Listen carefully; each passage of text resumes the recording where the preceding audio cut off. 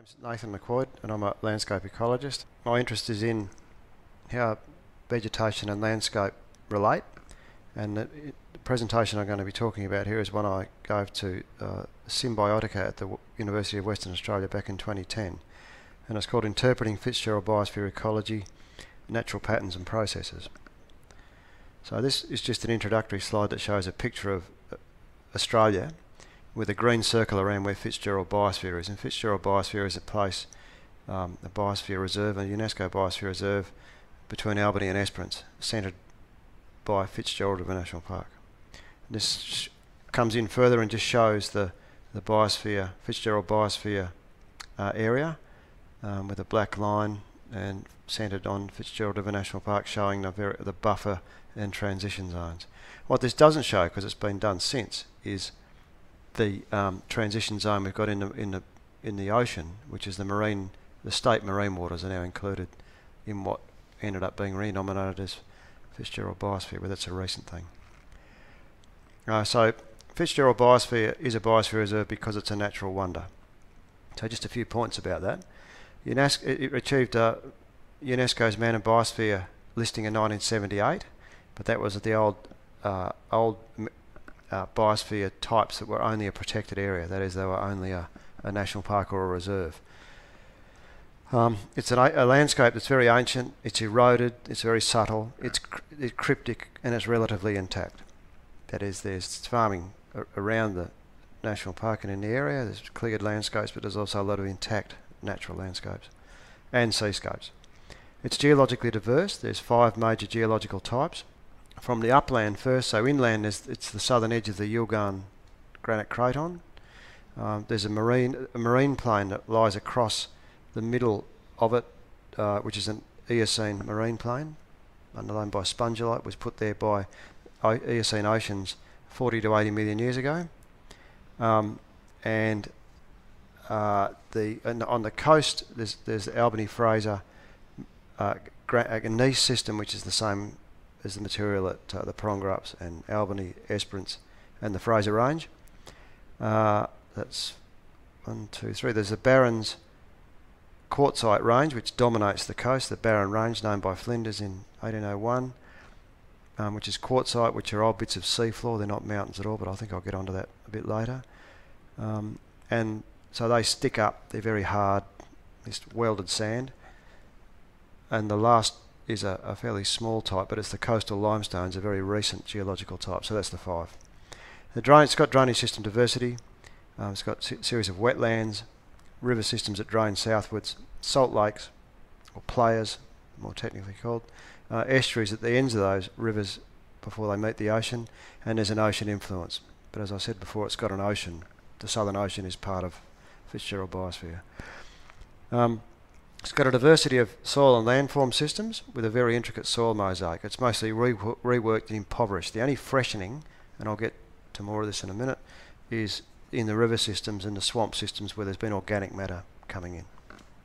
So that's the only soil development, and the plants tell us about that. So it's got immense botanical diversity.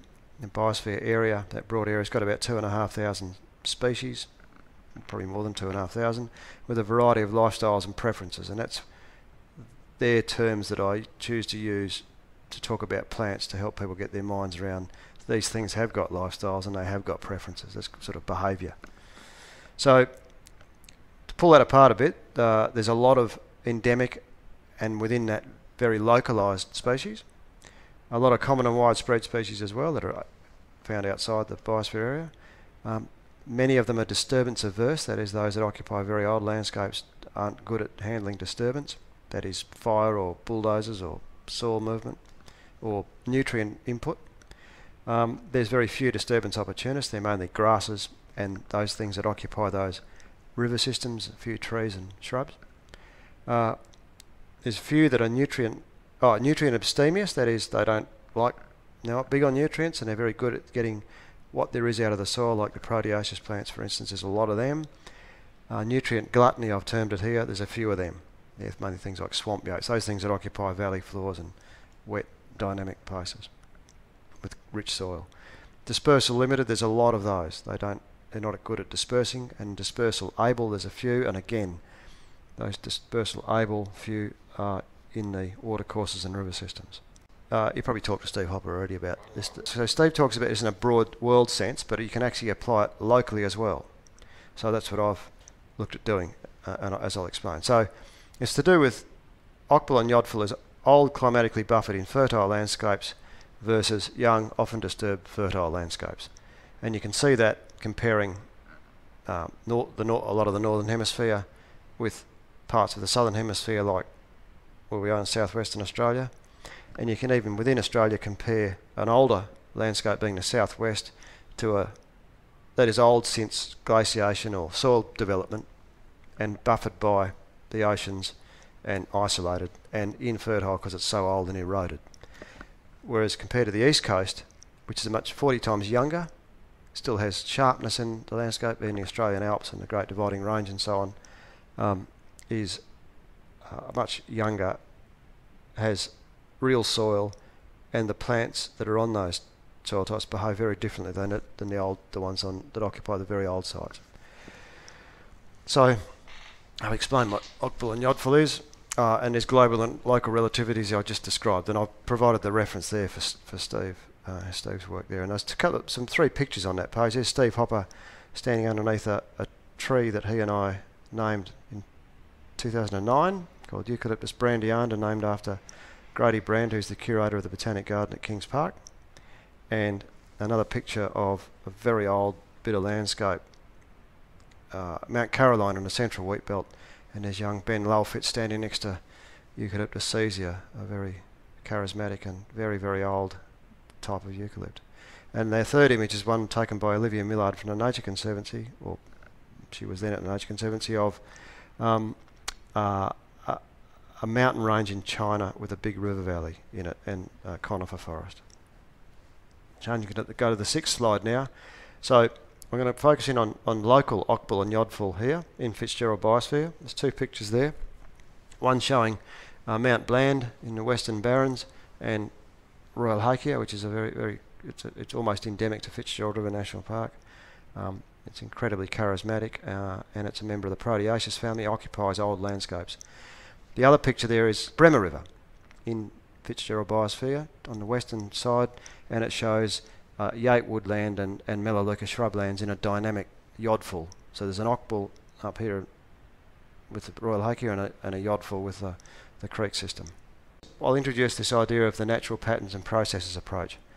And that looks at uh, geology, climate, drainage, soils, and vegetation. So it develops those layers to provide a, a, picture of the patterns and the processes that have delivered what's resulted in the vegetation. So what I'll do is go through each of those headings. So geology, climate, drainage, soils and vegetation is a series of slides. And geology is obviously the underlying rocks. In the Fitzgerald biosphere it's diverse. I said there's five main types. Critical factor is the barren range that we call the range are not mountains. They're actually old bits of seafloor that were caught up in the continental collision when uh, Australia and rifted off Antarctica. Those old bits of seafloor that are what's called Barrens quartzite. Now, well, quartzite is welded sand. So the pieces of seafloor that were later became, when exposed to the air, sandstone cliffs. And those sandstone cliffs were overridden by when Antarctica, the Mawson Craton pushed up over the top of the what's now the south coast of Australia um, and buried those pieces of sandstone cliff under about 30 kilometres of Earth's crust and welded them together, let sand form rock out of it, and then subsequently, as Australia rifted off, and a massive amount of erosion since then, because they're 1.4 billion years old, since they were sand, has left them upstanding. Hence, we call them mountains.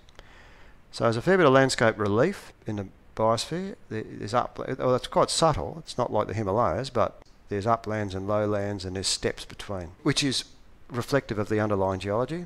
Uh, and it's weathered by climate, clearly, so it's weathered by wind, by exposure to air, by rain, by chemical actions provided by the moisture, so it's all climate reactive. It's a basis for drainage and soil development, that is, the weathering products become soil, and the patterns of the movement of that by erosion are the, uh, form the drainage lines in a broad sense. The faults in that geology provide unit boundaries, that is between, there's a cracker that if you stand on East Mount Barren and look uh, eastwards, you can see there's a great big uh, triangle that comes to a point at East Mount Barren, looking eastwards, and it goes about 700 kilometres east in an isosceles triangle, and that's the Esperance sandplain sits on that, and that the line that that heads off along the, the inland line of the isosceles triangle is the Jerdacuttup Fault, and it's the, a fault line where the where the Phillips River cuts down and then across and, and down.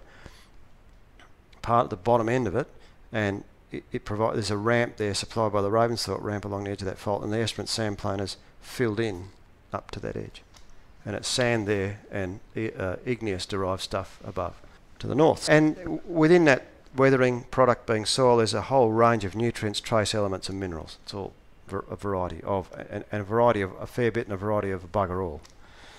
Um, and it characterises the landscape. So that, that everything I just described provides the landscape with the character it's got. Three pictures there. The top one is looking from East Mount Barren eastwards across the Esperance sandplain in that isosceles triangle I talked about with Culham Inlet just there in the ocean. And that's the Esperance sandplain. The other one, the middle one, is Ravensthorpe Range to the north of East Mount Barren, in the eastern part of Fitzgerald Biosphere, which is a an igneous intrusion into the Yilgarn block of greenstone, what gets called greenstone, highly mineralised, very rich soils, and incredibly complex flora.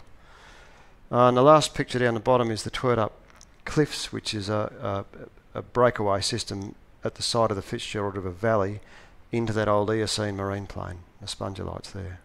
Uh, it's climate, so we'll have a look at the climate. So historic climate processes, not what happened last week or last year or the year before, it's over a long history. It's also delivered enormously over history sea level ups and downs, and island formation and deformation. So sea levels will be going up down like yo-yos for millennia, and you can see that in a, in the um, in the rocks and in the in the mountains. You can see that the top picture here is uh, the central barrens looking from Point Anne in the western biosphere across to the middle, and you can see wave cut benches on the the outfall of those quartzite features and that's the action of an Eocene ocean that was 90 metres higher than it is now, pulling material down off the off the off those mount, what we call mountains um, to form those wave cut benches. And at that time, in that Eocene ocean, which is between 40 and 80 million years ago, those mountains what we, were bigger and they were, they were islands.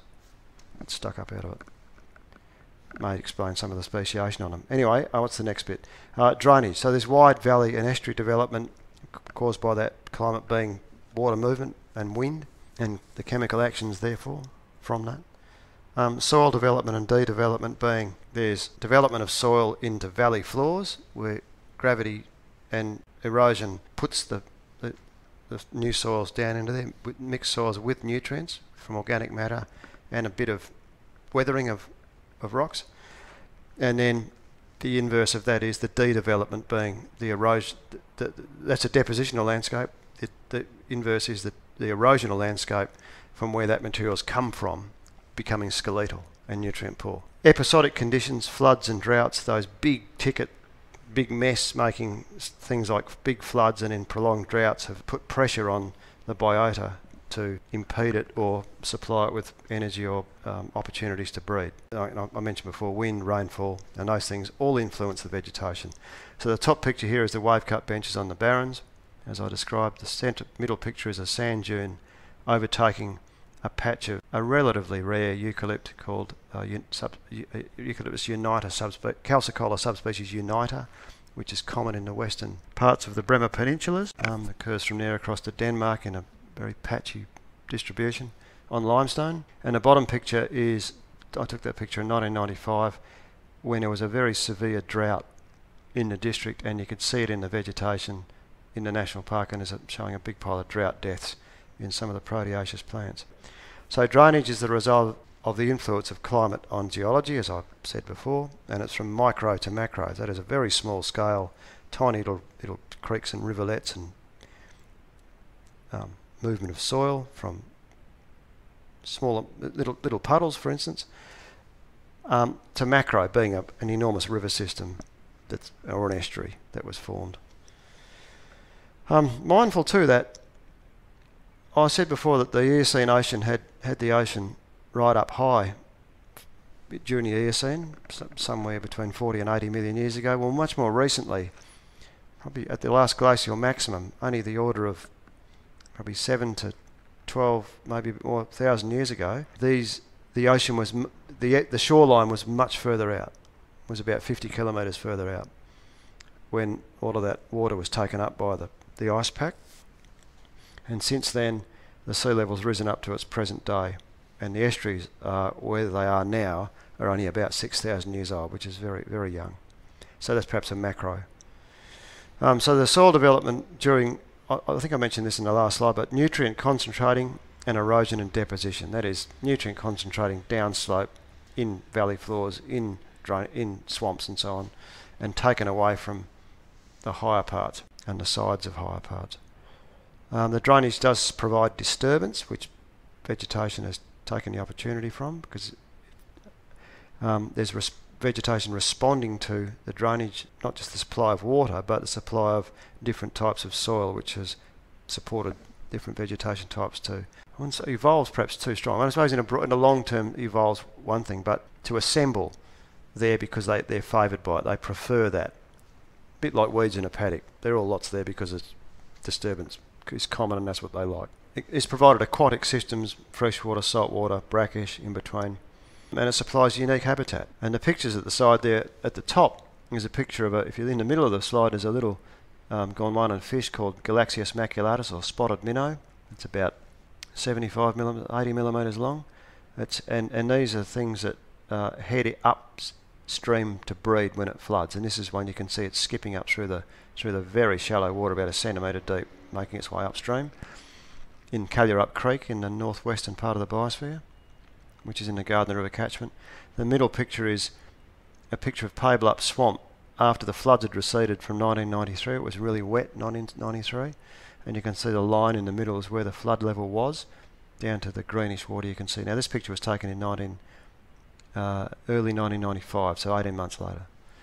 The bottom picture is Wellstead Estuary, showing the fringing vegetation of, of paperbark. This slide's about soil. So soils, as I said before, are the result of geological weathering, drainage and erosion. You bring all that together, you get soil, in, in, again in a broad sense.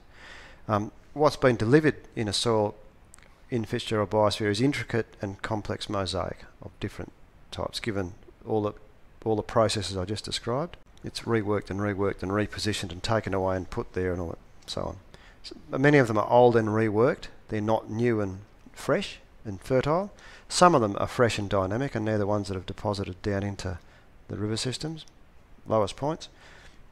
They're mostly nutrient stripped, that is, they've had they've become skeletal because they've been removed from. They're generally poor structure. That is, when people talk about poor soil structure, they're talking about whether you can grow a good crop in it. I'm sure the banksias and the honeyeaters don't care because it suits them, but what we call a poor structure for human enterprise but good for nature. They're matched to vegetation types, or more, more's the point, vegetation types are matched to soil types. And that mosaic supports plant endemism. So you get the mosaic is a patterning, and each each piece of that pattern generally has a different plant community and a different plant assemblage on it. Which it's just old and it's sorted that way over enormous amounts of time from hot, literally dropping down in, uh, over time three pictures there. One shows the, the, the spongolite cliffs at Twertup with the erosional processes uh, depositing, taking material off the cliff face and depositing it in the valley floor in the foreground. The central picture is paddock at Ravensthorpe, and I thought that was shadows being cast by the the clouds, but it was, only a bit of it was. And you can see the red soil in the foreground and the pale soil in the mid, and you can see a bit of cloud over it to the to the left hand side, and then a tree line at the back. Well, that's just showing the soil types across a paddock. It gives it in, indicates this complexity. It's much more complex than that in many places, but it just shows you what a, I mean in a fallowed paddock.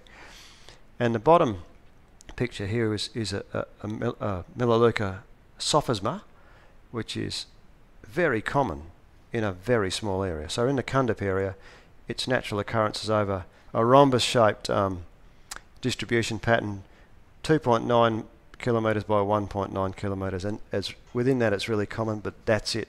That's on Earth. That's where it is on these clay quartzite soils. This is about the vegetation I just introduced.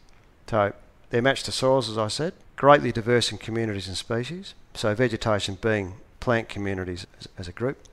Uh, many endemic and localised plants on that array of soil types and the patterns in that. most of them are disturbance averse and dispersal limited, as I said a little while ago. They are what forms the habitat in most cases. There's also geology that provides some habitat, but generally the vegetation provides habitat as food, cover, other resources, fibre resources and so on. They're flammable at critical times, that vegetation. It's misunderstood. We don't understand the patterning it, we don't appreciate how old it is, and we don't appreciate how, in some ways, robust it is, and other, otherwise, otherwise is very prone and fragile. What looks rough and prickly is, in fact, quite it might look hostile and feel hostile, but it's actually quite vulnerable. Uh, and it's changing. It's a drying climate, and there's more frequent fire, and it's pushing change upon it that I don't think it evolved with. So I'll just go back. What I mean by that is that I, th I think it's becoming evident that the, what we're seeing as I'm calling adaptations in plants are in fact coping mechanisms.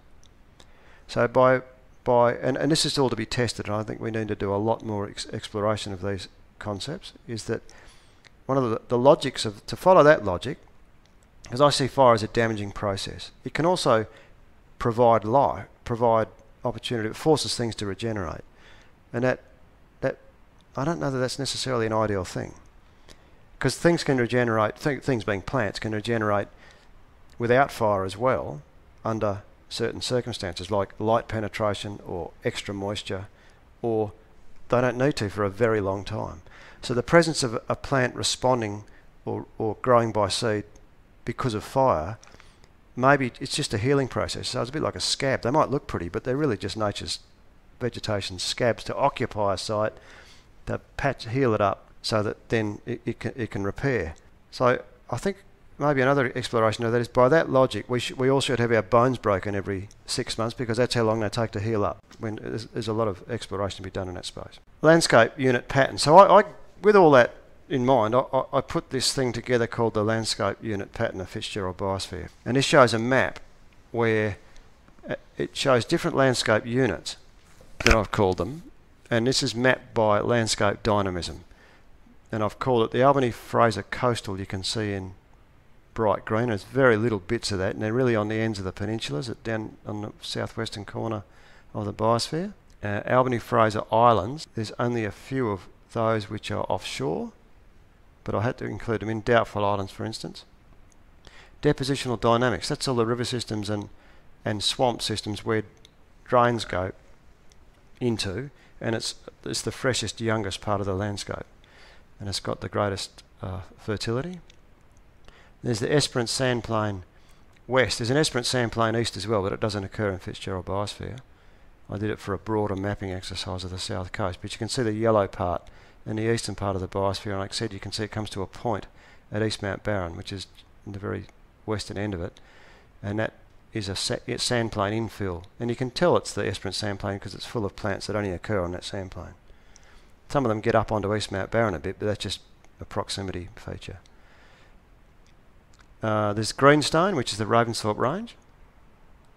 There's marine plain, which is the blue stuff through the centre, which is the, again, that Twertup, that marine Eocene laid down marine plain and the weathering products of that on its surface.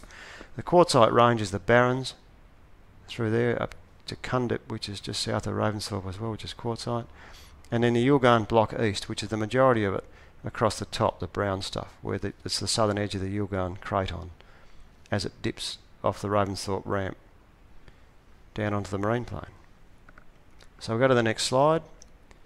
Um, and this is vegetation type by dynamism and I've just given three examples here of YODFEL to OCBIL.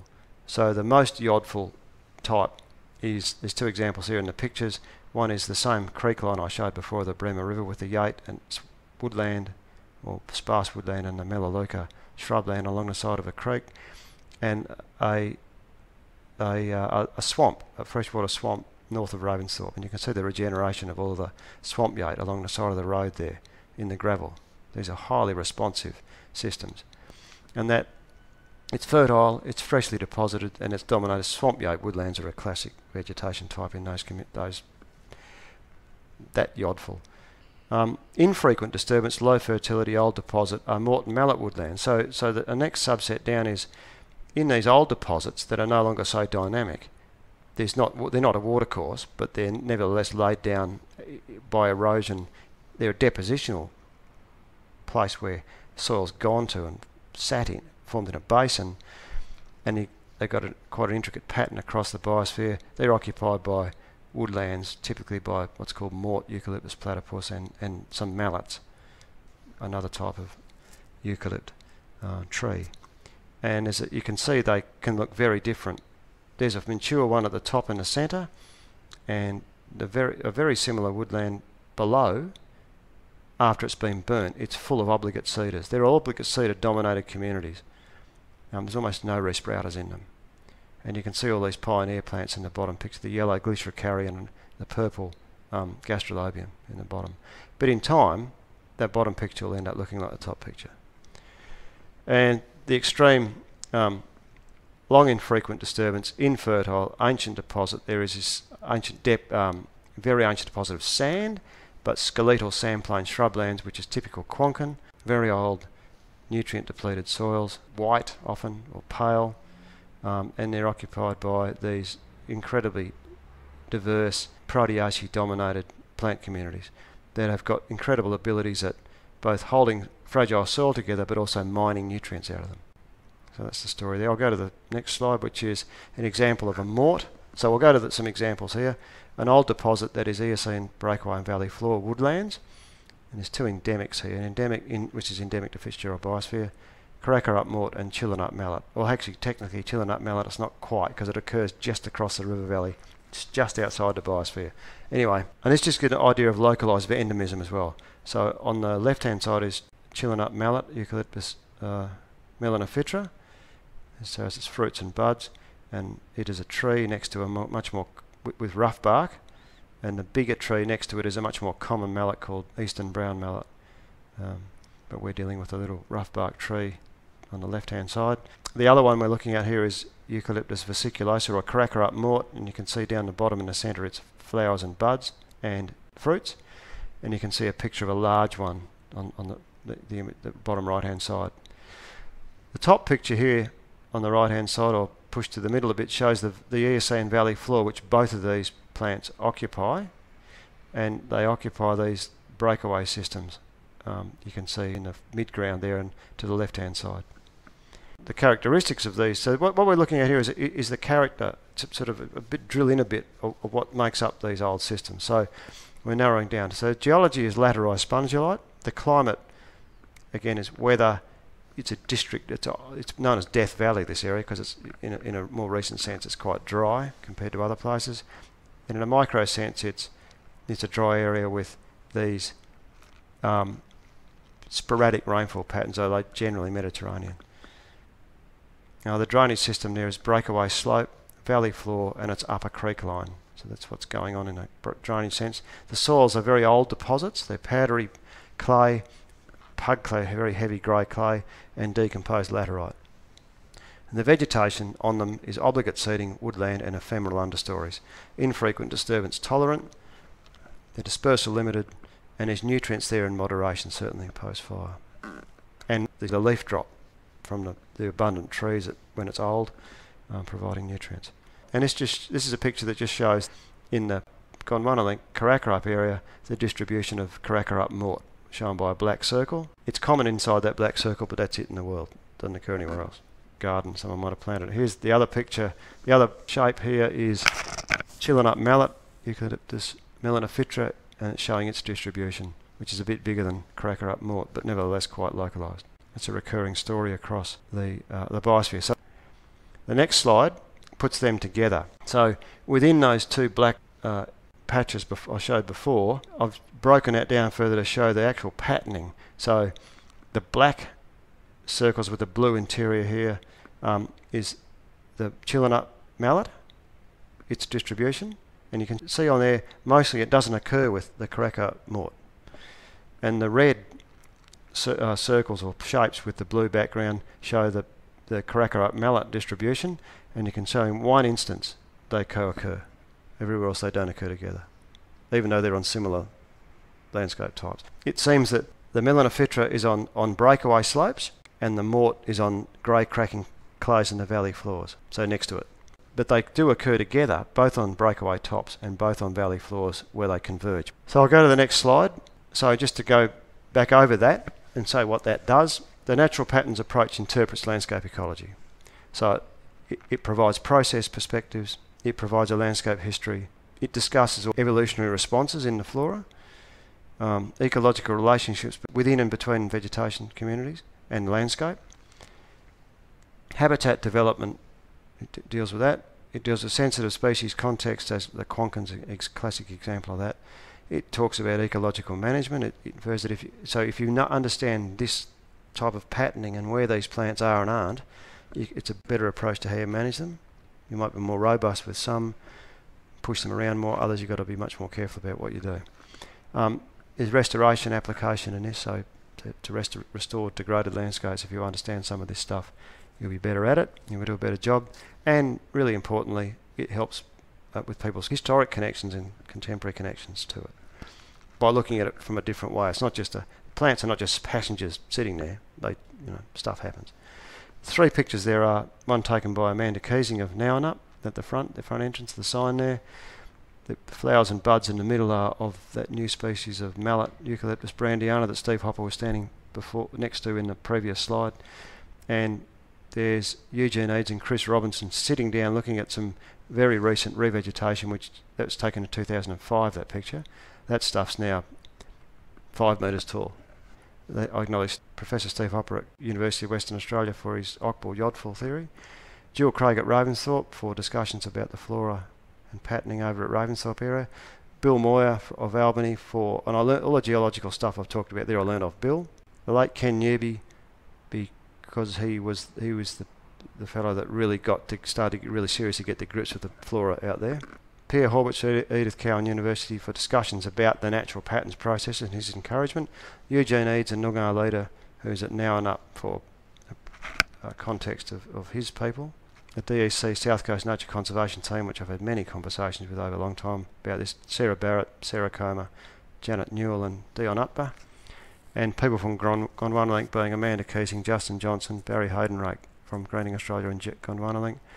And uh, Assistant Professor Tinka Sack of University of Western Australia, uh, Architecture, Landscape and Visual Arts, but that, that outfit no longer exists. And a picture there of Steve Hopper and Luke Sweedman at the type site of Eucalyptus brandiana, picture of Eugene Eades in the middle, and the picture of Jill Craig, Sarah Barrett and Sarah Comer discussing Melaleuca stromatosa at Ravensthorpe. And that's the end.